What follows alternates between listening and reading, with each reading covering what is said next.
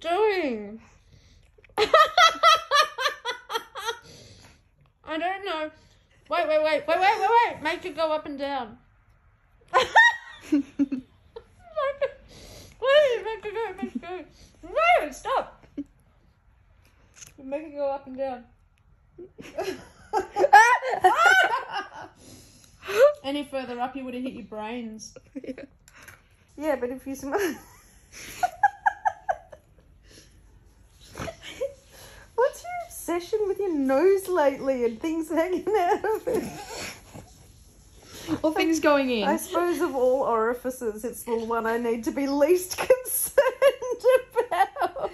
Or things going in, maybe a little In or powder. out. Most holes are in and out, so I wouldn't worry too much. Frequently? Well, it's up to the individual, really, isn't it? I can't put it on. I can't put it on if I laugh. What's Mama doing tomorrow? Do not. Make me laugh. What's Mama doing tomorrow? You've stretched it too much. That's a problem. What's Mama doing tomorrow? Where'd it go? Oh. Uh, donating blood. You're gonna be drained. Drained. No, I'm not. They don't take that much out of you. It's not it's odd. Archer. It's. I want to make it odd, so it's kind of funny. Here.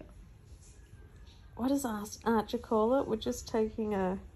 How much do they take when they for the wee baby Seamus? A gill. How much is a gill? How much is a gill?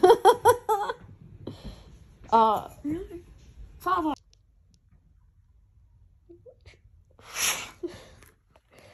You have a nasal obsession.